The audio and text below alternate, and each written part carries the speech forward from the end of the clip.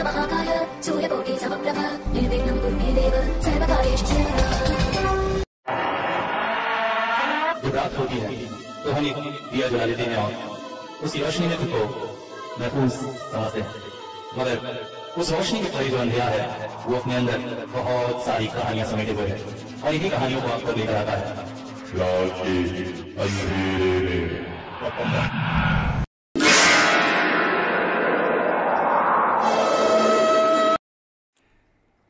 आदाब नमस्कार सत गुड इवनिंग कैसे हैं सभी भाई? तो अ, थोड़ी ब्रेक के बाद स्टोरी आ रही है। जी हाँ क्योंकि मैं थोड़ा सा व्यस्त हो गया था और अ, बताते हुए बहुत खुशी हो रही है कि भाई जो मैंने आप लोगों से बात की थी लॉ ऑफ़ अट्रैक्शन से सब कुछ किया जा सकता है तो उसका एक प्रमाण मैं आपके सामने लेकर आया हूँ। कुछ लोग कह रहे थे लॉ ऑफ़ अट्रैक्शन करना बहुत मुश्किल है ये है वो है। तो भैया सीधी सीधी बात है सच्चे मन से आज से लग जाओ जो लोग भी अपने ज़िंदगी में सब कुछ पाना चाहते हो, क्योंकि देखो, मैंने लॉ ऑफ़ अट्रैक्शन के थ्रू एक सफलता तो पा ली है। तो हुआ ये कि कल मेरी फ़र्स्ट सॉन्ग रिकॉर्डिंग थी। ज़िंदगी में कभी सोचा नहीं था कि वो साउंड प्रूफ स्टूडियो में खड़े होके माइक के सामने गाऊँगा। ये लोग फेसबुक पे मुझे फॉलो कर रहे हैं। वैसे इंस्टा पे डाल नहीं पाया इंस्टा पे भी डालूँगा। वो लोग जान ही गए होंगे। फ़ोटो डाली है मैंने। मेरी पहली दो सॉन्ग की रिकॉर्डिंग हुई है और अभी कॉन्टेस्ट में आगे गया हूँ और मुझे पूरा विश्वास है कि मेरी वीडियो की भी रिकॉर्डिंग इस कॉन्टेस्ट में होगी। और बेहद खुशी की बात। तो उसी में थोड़ा सा व्यस्त था। सैटरडे तैयारी में कल तो पूरा दिन फिर उसी में बीत गया। मगर ये सच्चा प्रमाण है। लॉ ऑफ़ अट्रैक्शन से सब कुछ कर सकते हैं। हाँ ये है कि अगर आपकी किस्मत थोड़ी सी खराब है तो भाई बाधाएँ तो आती हैं। मेरे मेरे साथ तो ऐसा होता है। मतलब वो कहते हैं ना, किस्मत बिल्कुल पांडू। तो किस्मत ने मुझे रोकने की बहुत कोशिश की। कल का दिन तो मतलब ऐसा था कि मेरा और किस्मत का एकदम, मगर इस बार मैं हारा नहीं। इस बार मैंने पूरा दिल में रखा था कि all is well all is well चाहे जितने भी मुसीबतें आए, मेरे साथ बुरा हो ही नहीं सकता है। क्योंकि पहले मुझे ट्रेन से जाना था तो ट्रेन बड़ी लेट हो गई। भाई, बिल्कुल मतलब 12 बजे तक मुझे रायपुर पहुँचना था यहाँ से। और अप्रॉक्सीमेट तीन घंटे लगते हैं रायपुर पहुँचने में, और सुबह सात बजे से ये जंग चल रही थी। पहले ट्रेन लेट हो गई, फिर कैसे जाऊँ सोचा तो फिर ओला से गया। ओला से जाने में भी ऐसे डेढ़ घंटे लगते हैं, कल दो घंटे लगे। रास्ते में बहुत सारी मुश्किलें, परेशानियाँ आते आते अंततः करके आया हूँ। मगर मन में वही बात कि मेरे साथ बुरा हो ही नहीं सकता है। तो आज से जितने भी भाई बहन लोग हैं जो ये कह रहे थे कि लॉ ऑफ़ अट्रैक्शन काम नहीं करता है अब मेरी तरह ज़िद में भिड़ जाओ ताकि आप लोग अपनी लाइफ का सब कुछ पा सको। वैसे कोई बड़ी सफलता नहीं मैं बड़ाई नहीं मार रहा मैं सिर्फ़ आप लोगों को इनकरेज कर रहा हूँ। अच्छा आ, वैसे तो लाइफ से नेगेटिव बातें करना मैंने बिल्कुल भी बंद कर दिया है मगर फिर भी आप लोग मेरे चाहते हैं तो मेरे लाइफ में क्या हो रहा है वो आप लोग के साथ शेयर करना मुझे बहुत अच्छा लगता है इसीलिए बता रहा हूँ कि भैया बड़े गजब गजब के लोग मिल रहे हैं मुझे यूट्यूब पर। अब जैसे देखिए पिछले दिनों एक बंदा है। आ, उसने मुझे मैसेज किया कि भाई बहुत परेशान हूँ बहुत समय से जॉब के लिए कोशिश कर रहा हूँ नहीं मिल पा रहा है बहुत से ज्योतिषियों को दिखाया। आप आखिरी उम्मीद हो ये हो वो हो करके मुझे अपनी कुंडली भेजी। दिवाली के समय की बात बता रहा हूँ। तो जानते हैं दिवाली का त्यौहार है, वैसे ही बिज़ी ऊपर से। तो भी मैंने कहा, ठीक है, चलो। बंदा जब इतना कह रहा है तो उसकी मदद करनी चाहिए। तो मैंने ले लिया काम, मगर मैंने पहले कह दिया, देखो भाई, एक छोटा अमाउंट तो मैं आपसे लूँगा। फ्री फंड फोकट में मैं काम नहीं करूँगा। तो उसने कहा, आप जितने पैसे कहोगे, मैं उतने दे दूँगा ऐसा वैसा तो ऐसे जेनविन रेट ही मैं लेता हूँ, कोई गलत रेट नहीं लेता। मगर उसके बाद से भाई साहब बिल्कुल अ, मतलब सुबह शाम फ़ोन करने लगे सर कुछ पता चला गया सर कुछ पता चला गया। तो ऐसा कोई वो गाँव के देहाती वाले ज्योतिषी का खेल तो है नहीं। मैं प्रॉपर कैलकुलेशंस करता हूँ और उसमें टाइम लगता है। मैं सबको ये चीज़ बता चुका हूँ। मैंने कहा देख भाई अगर तू इस तरह से परेशान करेगा तो मतलब कोई वो टाइम नहीं दोपहर को आदमी थोड़ा खा पी के रेस्ट कर रहा है उसको कॉल कर देना। रात को बैठ के रिकॉर्डिंग कर रहा कर कुछ पता चला क्या? मैंने कहा, अगर इस तरह से कॉल करोगे तो नहीं हो पाएगा। जब हो जाएगा, मैं आपको खुद बताऊँगा, तब तक आप चुपचाप बैठो। तो फिर वो चुपचाप बैठ गए। फिर दिवाली के समय मैं व्यस्तता के बीच मैंने समय निकाला, उस बंदे का काम पूरा किया। काम करने के बाद उसे बोला, भाई, आपको फाइव हंड्रेड रुपीज़ बस मुझे पेटीएम करना है।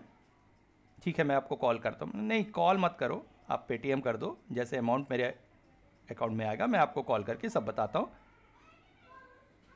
अब ये भाई साहब व्हाट्सअप कर रहे हैं कॉल कर रहे हैं। अमाउंट सुनने के बाद बोलते मेरे पास एंड्रॉयड फ़ोन नहीं है।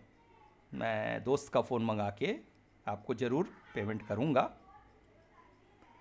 और दिवाली से आज कितने दिन हो गए हैं, ये आप लोग भी जानते हैं। बट ये बंदा गायब हो गया मतलब सिर्फ़ पाँच सौ रुपये अमाउंट सुन के इसको अच्छा एक दूसरा बंदा है, एक और है। ये कार्तिकेय करके। अभी पिछले दिनों बहुत ऑड कमेंट्स लिख रहा था, आप लोगों ने देखा होगा। स्वाभाविक सी बात है, जब ऐसा हरकत करेगा तो ब्लॉक कर दिया मैंने उसे। अब लगता है भाई साहब स्टोरी नहीं सुन पाए तो अकल आ गई। तो पहले ये मेरे को इंस्टा पे मैसेज करते हैं कि मेरा जो आईडी है हैक हो गया है। कोई और उससे आई माई कमेंट कर रहा है तो अगर ऐसा कुछ हुआ होगा तो सॉरी कल व्हाट्सएप पे इसका मैसेज आता है कि भाई हमारे बीच जो कुछ भी हुआ जो बहसबाजी हुई उसे हम भूल जाते हैं और फिर से फ्रेंडशिप करते हैं। तो बेटा, तू है क्या चीज़? कौन है तू? तेरे होने ना होने से किसको फ़र्क पड़ता है? स्टोरी नहीं सुन पा रहा है ये तेरी प्रॉब्लम है, मेरी प्रॉब्लम नहीं है। मैं लोगों की हेल्प करता हूँ, उनके खुशियाँ बांटता हूँ, उनके ज़िंदगी के स्ट्रेस के बीच आधा घंटा अपनी कला से उनको कुछ अच्छा देता हूँ। But what you give me तुम मुझे क्या दोगे? और तुम होते कौन हो मुझको इस तरह से आलतू फालतू बात कहने वाली? मेरी बिलीव मेरी जगह, तुम्हारी बिलीव तुम्हारी जगह। बट तुम उसके लिए आलतू फालतू कमेंट्स लिख रहे हो, ये कर रहे हो, और उसके बाद जब ब्लॉक कर दिया गया है, तब तुम ये चाह रहे हो कि फिर से दोस्त। तो यही होता है। क्रिएटर्स के साथ यही होता है। मतलब लोग ना एकदम उनको अपना गुलाम और नौकर समझने लगते हैं कि क्रिएटिविटी दिखा रहे हैं तो हम बड़ा एहसान कर रहे हैं। भैया, तुम्हारे सुनने ना सुनने से सामने वाले को कोई फ़र्क नहीं पड़ेगा। हाँ ये ज़रूर है कि पब्लिक की वजह से क्रिएटर्स हैं। पब्लिक सुनती है तो क्रिएटर्स सक्सेसफुल है। मगर ये भी है कि क्रिएटर्स का भी एक आत्मसम्मान होता है। उनको अपने घर का नौकर समझने वाले लोगों के साथ ऐसे किया जाता है तो उसको तो अनब्लॉक करने से रहा मैं, उसकी तो कोई वैल्यू है नहीं। बट वही मैं आप लोगों के साथ शेयर करता रहता हूँ कि आप लोगों को भी पता चले कि एक कंटेंट क्रिएटर की लाइफ कैसी जाती है। खैर, बातें बहुत हो गई। चलिए आज की स्टोरी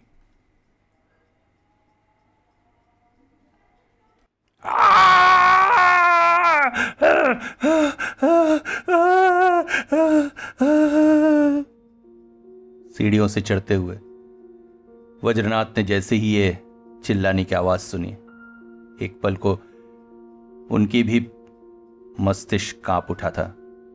इस इस आवाज़ में अजीब सा दर्द था। अजीब सी अजीब सी बात थी। और सबसे सबसे आश्चर्यजनक था आवाज़ का तेज के साथ धीरे धीरे होते जाना। वज्रनाथ के चेहरे पर उबर रहे भाव को देखकर श्री प्रसाद बोले, बस, इसी तरह से वो चिल्लाते रहता है। और और हमेशा डरा डरा सा रहता है। समझ में समझ में नहीं आता क्या हो रहा है। और और मैं मैं बेहद परेशान हूँ। हम्म। घर की सीढ़ियाँ चढ़ रहे थे दोनों। ऊपर के कमरे से ये आवाज़ आई थी। वज्रनाथ को श्रीनाथ ही अपने घर पर बुलाकर लाए थे। बैठक में पहुंचकर दोनों सोफा सेट पर बैठ गए। श्रीनाथ ने आगे कहना शुरू किया, हम तीन भाई हैं। मुझे तो आप जानते ही हैं, श्रीनाथ। इसके अलावा मेरा छोटा भाई गोपीनाथ और सबसे छोटा आनंद नाथ जिसकी, जिसके लिए मैं आपको यहाँ बुलाकर लाया हूँ।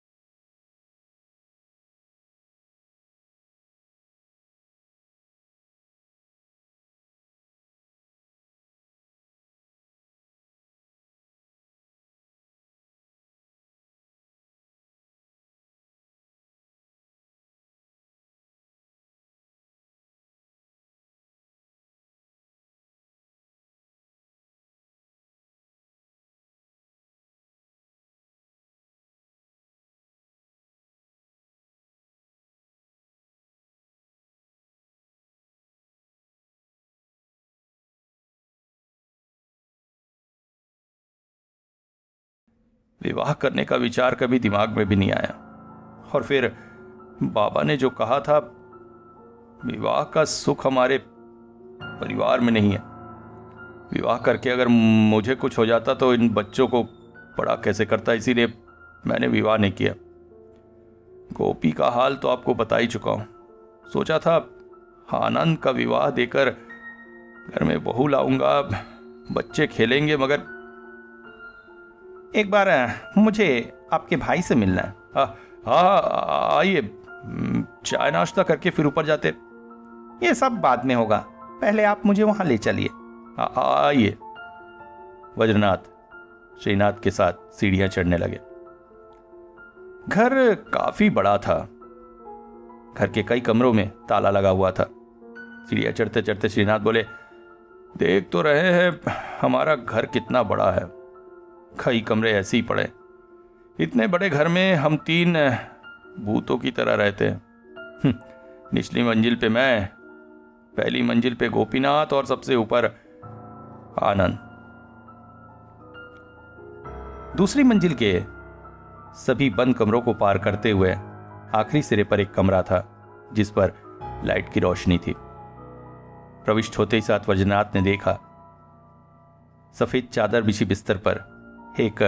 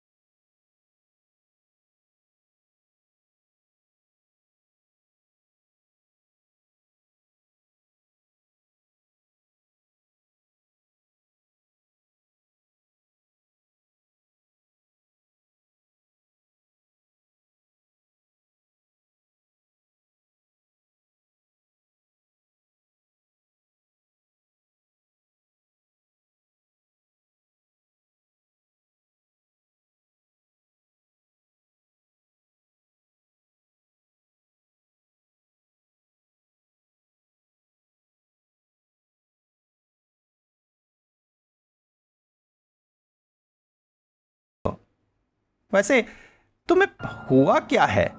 आखिर आखिर किस चीज़ का डर है तुम्हें? नहीं नहीं मैं मैं बता नहीं सकता। उन लोगों ने बताने मना किया है बताने मना किया है। हाँ अगर कोई जाकर दे, दे, दे, दे, देखे कहाँ जाकर देखना है? मुझे बताओ। समदरिया समदरिया नेहा नेहा। कहते कहते युवक जैसे अर्धनिंद्रावस्था में बिस्तर पर लेट गया। श्रीनाथ बोले, बस इसी तरह से सौंदर्या और नेहा ये दो शब्द ही बोलता है। और और कुछ भी बता नहीं रहा है।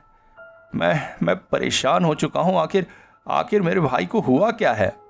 क्या मैं इसकी आँखों की पट्टी खोल सकता हूँ? हाँ हाँ आपको जो सही लगे आप कीजिए। वज्रनाथ ने आँखों की पट्टी खोल दी। अर्ध निंद्रावस्था में युवक की आँखों को खोलकर देखने लगे। नहीं प्रेत बाधा के कोई लक्षण तो है नहीं। फिर आखिर ऐसा क्या है जिससे ये इतना डर गया है? अच्छा इस घटना की शुरुआत कब से हुई बता सकते हैं? हम्म, यही कोई महीने भर पहले की बात है। असली में आनंद को एक और शौक है। फोटोग्राफी का। इसकी एक दोस्त मंडली है, उसके साथ ये निकल जाता है कहीं कहीं दूर, जंगलों, पहाड़ों, इलाकों में और बहुत सुंदर सुंदर फोटोग्राफी खींचता है। एक मैगजीन है, उसमें इसकी फोटोग्राफी भी छपती है। अच्छी खासी पॉकेट मनी कमा लेता है उससे। अभी पिछले दिनों सूरजपुर के पास के किसी गाँव में गया था। बाकी दोस्त नहीं जा पाए थे सिर्फ़ एक दोस्त हेमंत गया था। मगर कुछ दिनों में ही हेमंत लौट आया था। आकर बताया दो तीन दिन में ये भी आ जाएगा। और जब आया तो ओ तो इसका मतलब सूरजपुर के आसपास ही कुछ है जिससे हम्म, भैया भैया इन्हें वो फ़ोटो दिखाओ ना हाँ दिखाओ ना। निंद्रावस्था में आनंद बोल पड़ा। कैसी फ़ोटो? अरे अरे हाँ। असली में वहाँ से लौटने के बाद इसने जो फोटोग्राफ्स खींचे थे उसे डेवलप कराया था। कहाँ है? पास ही की अलमारी से एक फ़ाइल निकालते हुए श्रीनाथ वहाँ आए। ये है कुछ फ़ोटोज़। सामने कुछ डेवलप फ़ोटोज़ थे जिनमें से तीन चार में से पंधेरा था। और एक में कुछ लाल लाल रोशनियाँ दिखाई दे रही थी। देखने से ऐसा लगता था जैसे अंधेरे में जुगनू टिमटिमा रहे हैं और उनकी फ़ोटो ले गई है। इस फ़ोटो में आखिर ऐसा क्या है? फ़ोटो को आनंद की तरफ़ बढ़ाते हुए वज्रनाथ ने कहा, फ़ोटो को देखते ही आनंद के चेहरे पर फिर से डर के भाव आ गए। नहीं नहीं नहीं। क्या है इस फ़ोटो में ऐसा? फ़ोटो को और पास लाते हुए वज्रनाथ ने कड़े अंदाज में पूछा आपको आपको नहीं दिख रहा है। गौर से गौर से देखिए मगर मुझे कुछ भी नहीं दिखाई दे रहा है। अगर तुम बता दो तो नहीं नहीं नहीं, मैं नहीं बता सकता, मैं नहीं बता सकता। हो उन लोगों ने, उन लोगों ने मना किया। हाँ हाँ डरते डरते युवक फिर से निंद्रावस्था में जाने लगा। असली में डॉक्टर ने सेजिटिव्स दिए हैं। है इस वजह से हम्म अचानक आनंद की चीख सुनकर वो बुढ़िया ऊपर दौड़ी चली आई। क्या हुआ? क्या हुआ छोटे राजा को? क्या हुआ? कुछ नहीं डॉक्टर साहब थोड़ा परीक्षण कर रहे थे। आप उसे सुला दीजिए पट्टी बांधकर हम नीचे जाते हैं। बस जैसे मिक्सी में रखे हुए पदार्थों को हिलाया जाता है, वैसे ही हिलती चली जा रही थी। आज जब हम न्यूज़पेपर और चैनलों पर गाँव के डेवलपमेंट और तरक्की की बातें करते हैं, वहाँ इस तरह की घटनाएँ हमारे देश में लाजमी हैं। जब कोई नेता आता है तो इन उबड़ खाबड़ रास्तों पर थूक पॉलिश के नाम पर डामरीकरण कर दिया जाता है। नेता के गुजरते ही फिर से रास्ते वैसे ही उबड़ खाबड़ हो जाते हैं और ऊपर से एक्सपायरी डेट वाली ये बसें। हमारे परिवहन विभाग में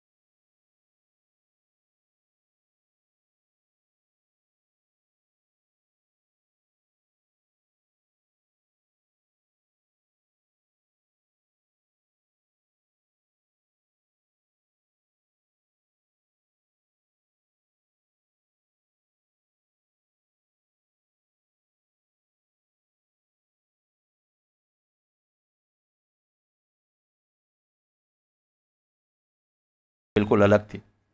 इसलिए वे सभी, इसलिए वे सभी प्रश्न भरी निगाहों से बार बार वज्रनाथ की तरफ़ देख रहे थे। अच्छा आप में से कोई बता सकता है आपके गाँव में कोई नेहा रहती है? सुनकर वो सभी चौंक पड़े थे। नहीं, ऐसा तो कोई हम नहीं जानते हैं। तो आपके गाँव में ठहरने की कोई व्यवस्था है? असली में, आज रात तो मुझे यहाँ रुकना ही पड़ेगा। कल सुबह निकल जाऊँगा। नहीं नहीं नहीं नहीं। गाँव वालों के इस जवाब से वज्रनाथ अत्यंत परेशान हो गए। शाम ढलने लगी थी। इस वक्त कोई भी टांगे वाला वापस बस स्टैंड की ओर जाने को तैयार न था। ऊपर से गाँव वालों का व्यवहार बड़ा अजीब। कोई भी उन्हें रात के लिए पनाह देने को तैयार नहीं था। वो बोले, ये तो बड़ी मुश्किल में आकर फंस गए हैं। आखिर जाएँगे तो जाएँगे कहाँ? सोचा था, एक दो दिन किसी गाँव वाले के घर में रहकर उसे कुछ पैसे दे देंगे और अपनी खोज खबर का काम निपटा लेंगे कि आखिर नेहा का राज क्या है? समदरिया तक तो वो पहुँच ही गए। पर पर यहाँ तो थोड़ा और अंधेरा हुआ तो चाय दुकान वाला बोला, बाबू, हमको दुकान बंद करना था। आप हाँ हाँ ठीक है भाई। मगर अगर कुछ व्यवस्था तुम कर सकते तो? नहीं नहीं, हमसे कुछ ना होगा। कंधे पर बैग लटका है चाँद की रोशनी भरे आके बाके पगडंडी पर। वज्रनाथ धीरे धीरे टहल रहे थे। ये तो बड़ी मुश्किल हो गई। आखिर, आज की रात भी बिताए तो कैसे? कल सुबह ही टांगा पकड़कर बस स्टैंड जाएँगे और लौट जाएँगे। देखेंगे किसी और उपाय से आनंद को ठीक करने की। यहाँ तो ठौर ठिकाना तक नहीं मिल रहा है। फिर आगे की खोजबीन वो बढ़ाए कैसे? यही सोचकर पगडंडी पर टहलते जा रहे थे। चारों ओर सन्नाटा और झींगुरों की आवाज़ के अलावा और कुछ नहीं था। तभी पायल की आवाज़ सुनाई दी। मुड़कर देखा तो बारह तेरह साल की एक बच्ची उनकी ओर बड़ी चली आ रही थी। चाँद की रोशनी में भी उसका सुंदर चेहरा और चेहरे पर मुस्कान स्पष्ट दिखाई दे रही थी। क्या बात है बाबू? यहाँ क्यों घूम रहे हो? हाँ क, क, क, कुछ नहीं। बताओ ना। अगर मैं कुछ मदद कर सकूँ? हम्म, तुम क्या मदद करोगी? हाँ, असली में मैं परदेसी हूँ। आज रात कहीं ठहरने का ठिकाना ढूंढ रहा था। ये गाँव वाले ना ऐसी हैं किसी को मदद नहीं करते हैं। आप आइए मेरे साथ पास ही में मेरा घर है। आप वहाँ आराम से रहिएगा। मेरे माँ बापू भाई आपसे मिलकर बहुत खुश होंगे।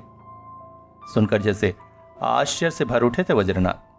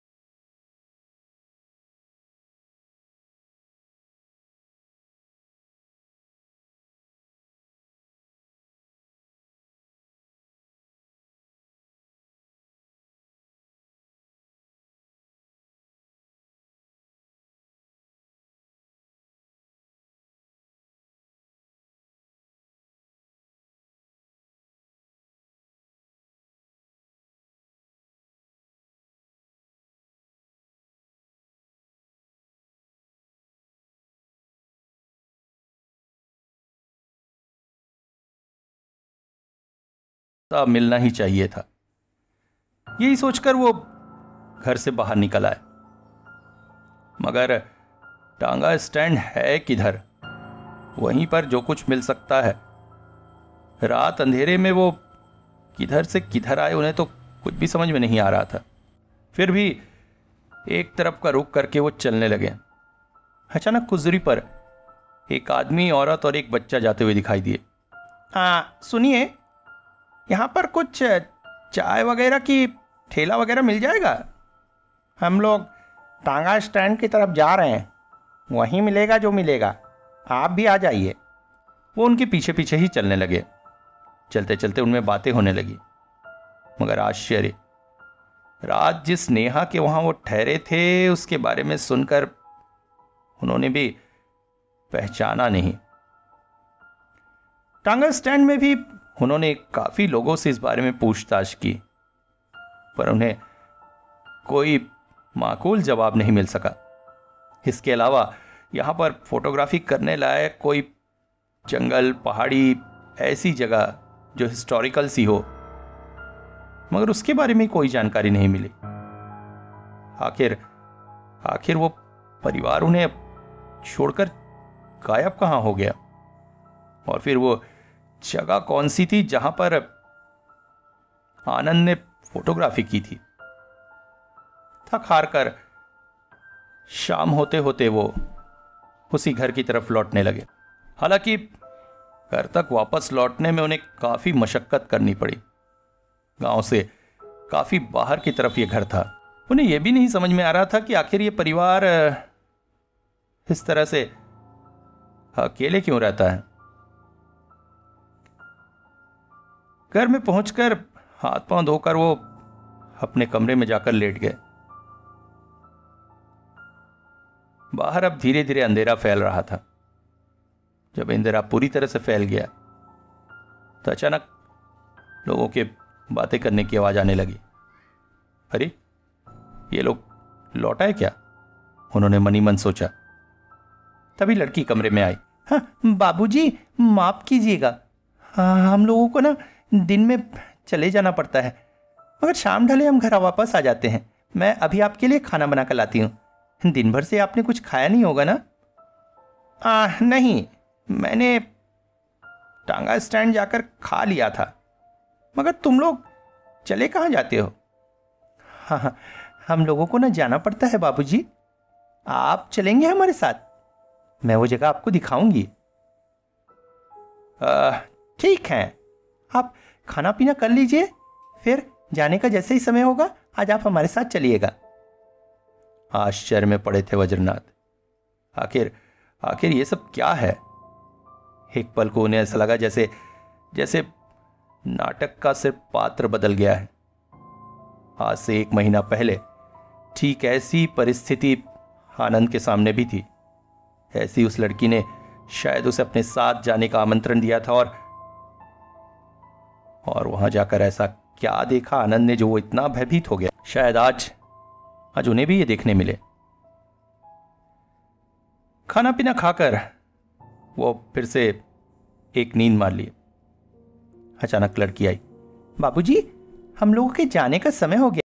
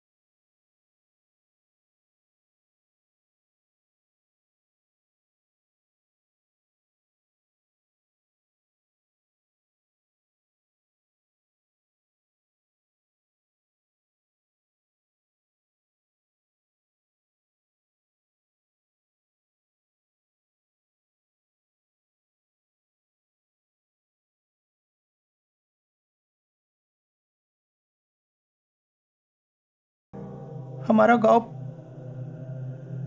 धीरे धीरे करके खत्म होने लगा। मगर आसपास के गाँव वालों ने हमारी मदद नहीं की। हम हम बिना दवाई, बिना सहायता के खत्म हो गए। और उसके बाद उसके बाद हम सभी गाँव वाले यहाँ आ गए। यहाँ आकर हम हम इकट्ठा हो गए। सिर्फ़ हमारा परिवार कुछ समय के लिए यहाँ से वापस घर लौटता है। आज भी अगर गाँव में कोई भूला भटका यात्री आ जाता है, जिसे ठहरने को जगह नहीं मिलती है तो हम उसे खाना, पानी, छत सब देते हैं। मगर फिर फिर रात ढले हमें यहाँ वापस आ जाना पड़ता है। हमारा हमारा यही तो ठिकाना है। मगर तुम लोग यहाँ आकर करते क्या हो और और ऐसा क्या है जिसे देखकर आनंद इतना डर गया था? वज्रनाथ महसूस कर रहे थे कि अंधेरी की परछाई में से लड़की की आवाज़ आ रही। उसका उसका शरीर अब स्पष्टता नहीं है। तभी अचानक वो नीली रोशनी जैसे घूम सी गई और अब पूरी तरह से उस पेड़ पर पड़ रही थी। और सामने का दृश्य देखकर वज्रनाथ जैसे मज़बूत हृदय के इंसान की भी दिल की धड़कनें बढ़ गई।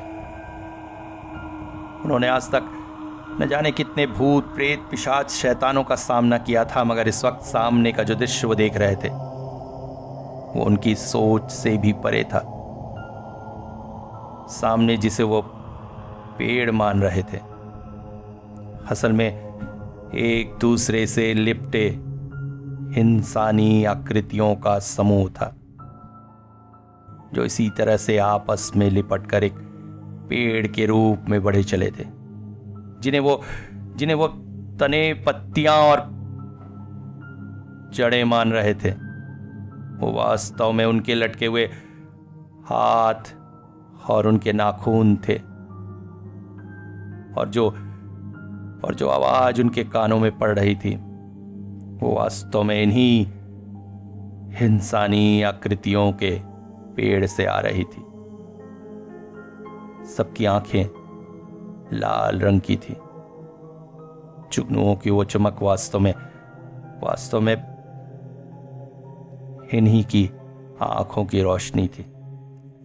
अचानक अंधेरे से आवाज़ गूंजी, बाबूजी, पर पर एक बात याद रखना। ये बात किसी को बताना नहीं। पहले तो कोई मानेगा नहीं।